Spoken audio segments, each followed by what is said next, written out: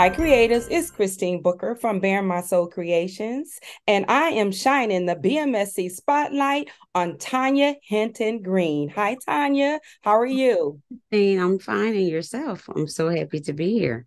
I'm happy that you're here. We've been trying to connect for quite some time. Yes, so life I, be life in life, yes, exactly. exactly. So um tell us about yourself and tell us about your business. Well, again, my name is Tonya Hinton Green.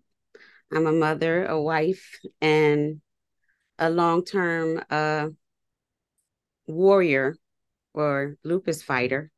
Um, I've been battling it for 27 plus years.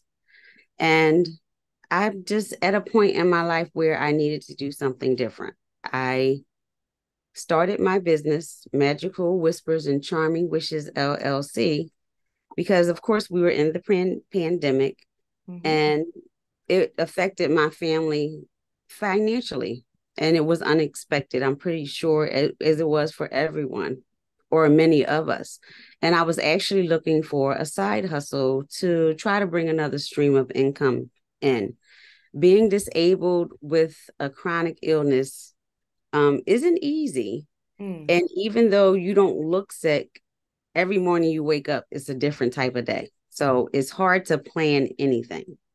Mm-hmm. But again, the whole idea was, you know, they tell you when you're trying to find a business idea to look for a problem and try to solve it. Yeah. And what I found, I took this really interesting course that the budget needs to put on.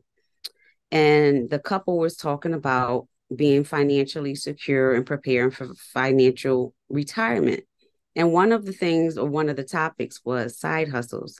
And they gave us a bunch of ideas of things to start. Mm-hmm. And one of them was tooth fairy cards. And I'm kind of like, tooth fairy cards? I never heard of that. So I started looking into it. And um, lo and behold, I found all this stuff about tooth fairy cards from the cards to um little envelopes for the children to put their teeth in this whole oh. experience mm-hmm. but not one of the children in the card were african american or brown or colored at all and i'm like this is ridiculous are you telling me that nobody has this for these kids i'm like i know they know these children of all shades experience the yes. same. Yes. So I started doing research and I couldn't find anything. And it was kind of disheartening at 1st mm-hmm. because I'm like, you know, I've had my struggles being, being a Black woman, whether it's from school, growing up in an urban neighborhood, yes. you know, loss of life, the violence, all that we mm-hmm. experience. Yeah. Mm-hmm. But our children are awesome.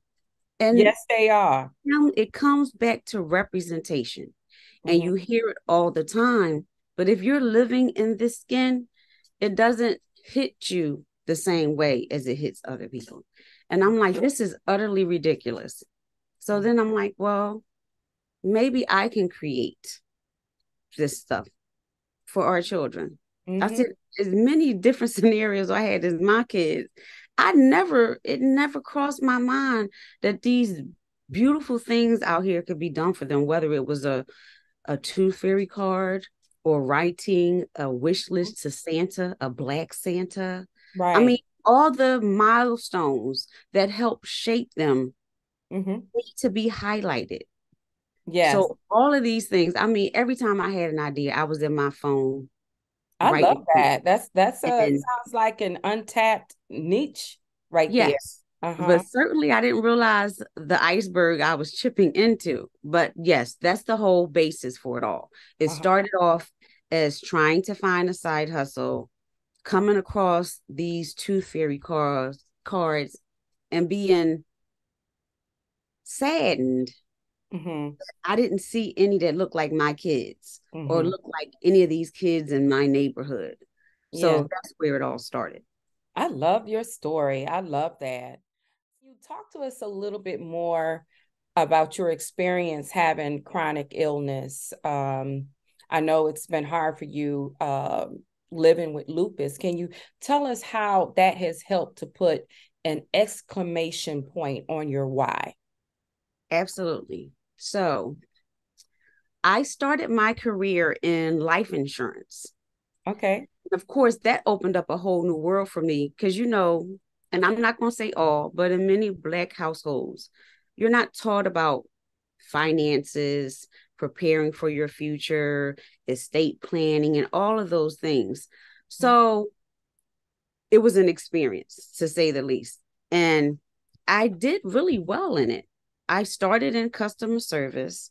Mm-hmm. Um, and I became so involved in it and ambitious towards the whole idea. Any job I had after that, within a year, I worked extra hard just to get a, get a promotion, learn as much as I could because I just loved learning. So I went from life insurance to annuities. Then I went to um, all different fi- areas of finances for like financial analytics, all of that. So in the middle of that, I decided to go back to school. Okay. Um, but let me back up a little. As I started my career in insurance, I was hit with the diagnosis at 22. So I was celebrating my 22nd birthday when at my birthday party, I just kind of fell off. Like my equilibrium was off. They rushed me to the hospital. And unlike so many people that I've encountered, my ER doctor diagnosed me with lupus. And so many people take years to get diagnosed, but he diagnosed me right there. I still didn't know anything about it. Nobody in my family ever heard anything about it. Mm-hmm. Um, I was an invalid for almost eight months. I was isolated to a bedroom in the house. I couldn't eat anything, couldn't drink anything. The only thing that I could maintain was like Pedialyte. Mm-hmm. So it was crazy. But once I got back to working, I was like, I'm not going to let this illness define me. So I started climbing the corporate ladder. I went back to school. I got my degree in 2010. Okay. and of course, the year that I graduate, my body decides to act up and it takes me out of work. Mm-hmm. so that was crazy. And it took me a long time to accept. Because, like I said, I was climbing the corporate ladder. I was doing everything I could, working extra hard, learning because I wanted, I had goals, I had ambitions. There was so much that I wanted to accomplish. And lupus took me out of it. And it, it that was a hard pill to swallow. Um, and it's been 13 years of me trying, mm-hmm. trying to still get back. Because you know, they have programs with Social Security to help you get back to work. And we've tried it a number of times, but it's like I don't know what it is, but so working from home seemed to be the ideal thing for me. Yeah. So again, that's why I started looking for the side hustle. And um yeah, it's been hard because even with taking on this whole entrepreneurial journey, which I never thought would be my journey, because I never thought I had the tolerance for that. I I was always a worker bee. Yes. It never crossed my mind yeah. to want to own a business, especially now experiencing and taking into consideration the amount of work that you have to do, especially when you don't have a guide or mm-hmm. a mentor to help you. Right. Mm-hmm. So it's hard. And especially when I feel like I'm making progress, sometimes lupus says, sit your little butt down. Mm-hmm. Don't get too uh cocky remember I'm here and it puts me down. So that's another frustrating thing. Trying to get this business up and running and feeling like I'm making progress. And sometimes, maybe a day or so, I have to take a beat because sometimes it gets that bad when I'm laid down for days. So that's another thing. And I don't really have, I'm I'm still early or new to this. So I don't really have the funds to hire somebody. You know, right. I'm still in the learning and planning phase, but I also need to be trying to make a return for all the money I am spending and throwing into the business. So it's a challenge to say the least. I, I think we all um are, we spend we spend the money initially uh, when we're just building our businesses. But I commend you for even just working through the process and not giving up. So, so many people would have given up at this point. So I applaud you for doing that. So let's. It's crossed my mind. uh, oh no, no, you're not giving up. You're not giving. No, but when I think about the time and the money that I've invested, uh-huh. there's no way I uh-huh. could accept the decision to quit. Right. Exactly. Exactly. So, what are your goals uh, that you've set for yourself in quarter four? Well, what I've set for myself is I recently opened up an Etsy store. And okay. my goal is to get my digital and physical products out there um to make to get my business out there to get myself well known and it took me so long in coming because for so long I was just trying to draw on what I was learning but I'm like girl you spent a year taking classes taking webinars when mm-hmm. are you going to put something out so finally, being in the creative community and seeing all of the creatives out there doing like you have to do something. So I opened up my Etsy store last month in September and I've been working, I've been putting out prompt guides, I've been putting out digital Good. art. I've uh-huh. been commissioned to make generic greeting cards, which was the initial whole concept of my business in the beginning. Mm-hmm. So I think that's what helped me get in alignment with my business, which I've heard be spoken to us so many times in this creative space is be in alignment. Mm-hmm. And I was so focused on the other things and taking the classes and I wasn't implementing anything I was learning. And that was because I'm starting to see that it wasn't in alignment with my whole idea from the get go, which was to right. create the cards. And mm-hmm. the other stuff can come later. Yeah. But it was the cards that gave me the whole idea in the first place.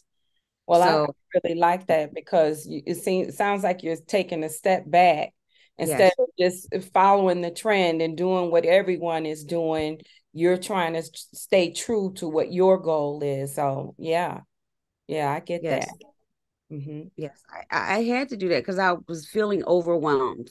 Like I said, there's so many creatives in this space, and it's a warm and welcoming community. I mean, I've never felt so much love and support, and mm-hmm. nobody's trying to be a gatekeeper. Right. There's a wealth of information and sharing, and I love the space. Don't get me wrong, but like you said, I was seeing what others was doing um, I was taking tips and classes and suggestions, and I was putting stuff out there really with the motivation is I got to get some money, I got to get some revenue, I got to make a profit.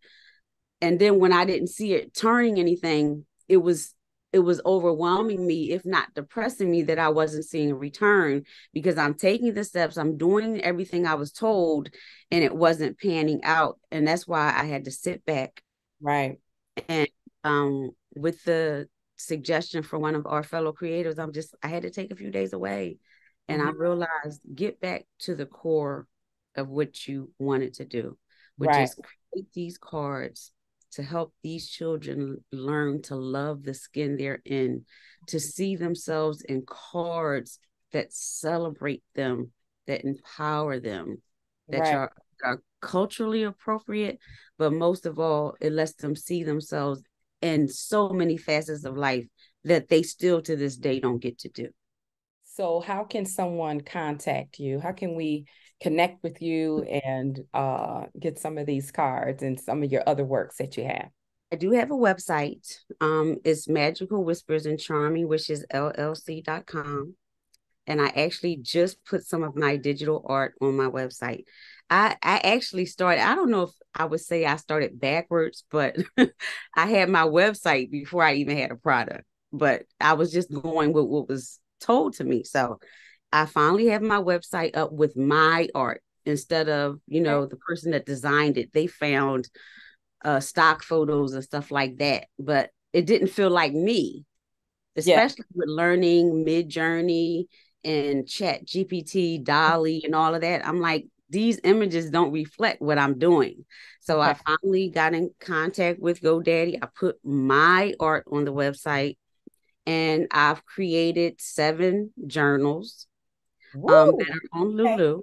Okay. Um, and I have two journals on Barnes and Noble. So I'm actually the downside to my site with GoDaddy is um, getting them to connect me with like the Lulu and um even Etsy because they couldn't connect my Etsy store to my site, which I don't I really have to look into. But yes, I have my website on Etsy. I'm magical WCW LLC. So that's my handle on Etsy. Yes, I have d- journals for young children and teens. I have the digital art. And right now I'm making Christmas cards. Oh, that's um, wonderful. With black images from Perfect. you know gospel choirs or black angels, all dif- different kind of themed Christmas cards um, that people can personalize. So my website, Etsy and Printify and Lulu is where I'm at now. Okay. Have you thought about using a, a link tree? Yes, I just heard about Linktree, but somebody also uh, told me about Bitly. So I'm I just uh, created a Bitly profile, and um, Hatsune from the Creative Black Girl told me I took her Flodesk class, but I had previously signed up for MailChimp and I did a one on one with her. Okay. And she helped me get my first campaign out there for gathering my email list. So for new subscribers. Okay. So I'm getting there. Okay. like I said, okay. it's kind of backwards. You no. know, I'm getting there. I'm getting there. I, I actually I, I like my Linktree uh site better than I like uh, my actual website, but I've linked really everything, my Amazon, my Lulu, my um, Printify, everything is my social media is all in my link tree. So that might be something you may want to consider as well. And Maybe you, I'll do that instead of the Bitly. Mm-hmm. And you can put well, Bitly is going to help you shorten your um your website, your URLs. Mm-hmm. That's going to help. Um, but you certainly, if you need help with that, let me know, and I can I can show you how I got mine set up. Okay, I appreciate it. Yeah, I'll definitely look into that. So, how can we connect with you? You just gave us all of your website information. Is there an email? Did you give that to us as well? Well, for my website, um, it's support at magical whispers and charming wishes llc.com okay okay. And i'm also um because they also said it's important through different mentors they said it's important to have a quote unquote business email. So yes. that's my business email and outside of the gmail accounts. But i'm also at magical whispercw at gmail.com so i have both of those emails set up to get my business out there for support and follow up because customer service because i come from a customer service background customer service is very important to me. So yeah. even on my etsy i have my uh, notifications on auto. So if someone reaches out to me and they need help or they have questions i get a notification and i can respond pretty quickly Love it, love it, love it. It's been a pleasure speaking with you. Thank you so much for doing this BMSC Spotlight. All, if you want to join the Baring My Soul Creatives private Facebook group for creative Black women, please join us. Please link up with us. There are women like Tonya on that site, and we're all business women, we're all creatives, and we're all supporting one another. So link up with us. Tonya, thank you for this interview and you have a blessed day. Thank you so much for having me. You have a wonderful day as well. Thanks, Christine. Thank Bye. You. Bye.